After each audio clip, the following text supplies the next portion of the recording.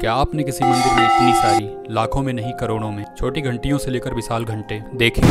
क्या आपने कभी ऐसा मंदिर देखा है जहाँ पे तुरंत न्याय मिलता हो? और जहाँ पे लोग अपनी अर्जी पेपर पर लिखकर लटका देते हों? और जहाँ के देवता प्रत्येक अर्जी को पढ़कर न्याय करते हों? तो बने रहे इस वीडियो के साथ। हम आपको बताएँगे ये मंदिर कहाँ स्थित है और यहाँ पे कैसे पहुँचा जा सकता है।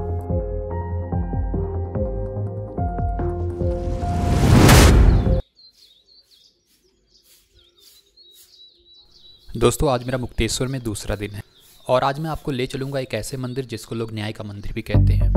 मैंने अभी जो बस पकड़ी है, वो मुक्तेश्वर से साढ़े आठ बजे भवाली के लिए चलती है। भवाली से न्याय का मंदिर, जिसको हम घोराखाल मंदिर और घंटिया वाला मंदिर कहते हैं, डिस्टेंस लगभग तीन किलोमीटर है।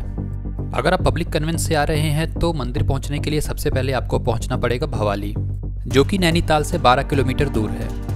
अगर आप नैनीताल से आ रहे हैं तो आपको तल्ली ताल टैक्सी स्टैंड से शेयरिंग टैक्सी मिल जाएगी और भवाली से मंदिर के लिए आपको शेयरिंग टैक्सी तीस रुपये पर हेड के हिसाब से मिल जाएगी।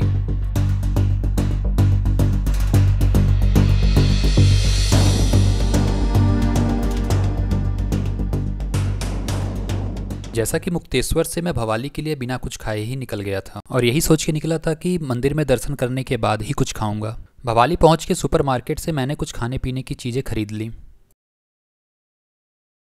और टैक्सी पकड़ के पहुँच गया मन्नतों वाले मंदिर।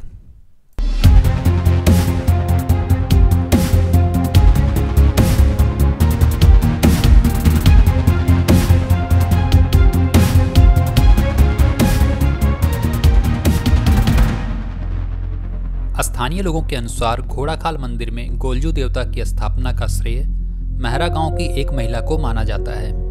यह महिला वर्षों पूर्व अपने परिजनों द्वारा सताई जाती थी। उसने चंपावत अपने मायके जाकर गोलजू देवता से न्याय हेतु साथ चलने की प्रार्थना की। इसी कारण गोलजू देवता उस महिला के साथ घोड़ाखाल मंदिर में विराजे। घोड़ाखाल मंदिर की विशेषता यह है कि श्रद्धालु मंदिर में अपनी अपनी मन्नतें कागज़ और पत्रों में लिखकर एक स्थान पर टांगते हैं। और माना जाता है कि गोलजू देवता उन मन्नतों में अपना न्याय देकर भक्तों की पुकार सुनते हैं। और जब मन्नतें पूरी हो जाती हैं तो लोग उपहार के रूप में घंटियाँ चढ़ाते हैं।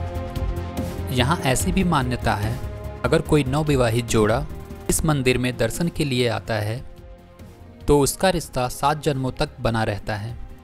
उत्तराखंड के अल्मोड़ा और नैनीताल ज़िले के घोड़ाखाल मंदिर में स्थित गोलू देवता के मंदिर में एक पत्र भेजकर ही मुराद पूरी होती है। गोलू देवता लोगों को तुरंत न्याय दिलाने के लिए भी प्रसिद्ध हैं।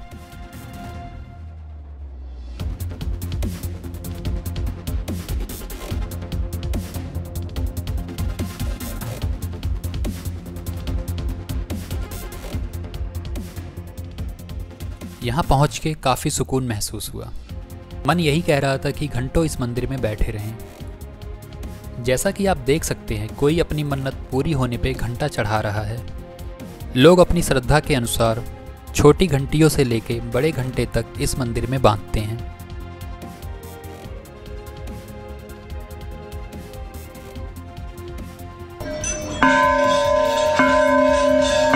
सच बोलूँ तो मेरी भी एक मन्नत थी।